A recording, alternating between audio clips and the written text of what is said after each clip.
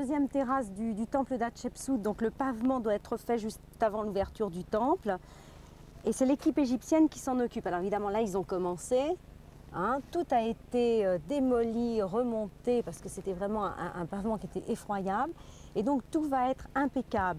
Alors là on arrive sur la deuxième terrasse du temple, c'est-à-dire derrière les, les, parois, hein, derrière les poteaux, là où se trouve la vie d'Hatshepsut sur les murs en détail. Bon, de son enfance, de sa naissance même, jusqu'à l'expédition qu'elle a envoyée en Éthiopie et jusqu'à sa mort. Avec la troisième terrasse où on la voit, Hatshepsut, en pharaon, avec les attributs du pharaon croisés sur sa poitrine, et où elle est représentée en homme. Alors tu vois les... Il y a des restes de, peinture rouge un petit peu sur son visage, à droite à gauche.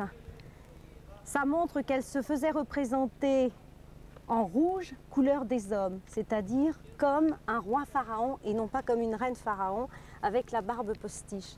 Donc là, elle est véritablement en homme.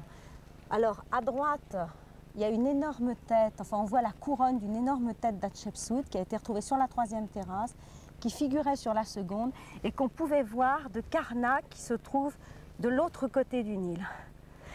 Et de l'autre côté du Nil, on a donc le temple de Karnak qui fait vis-à-vis -vis avec le temple d'Hatshepsut.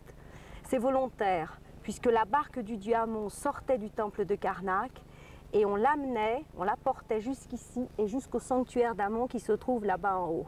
Donc c'était tout un cheminement religieux qui se faisait pour la fête du Nouvel An et pour ce qu'on appelle la fête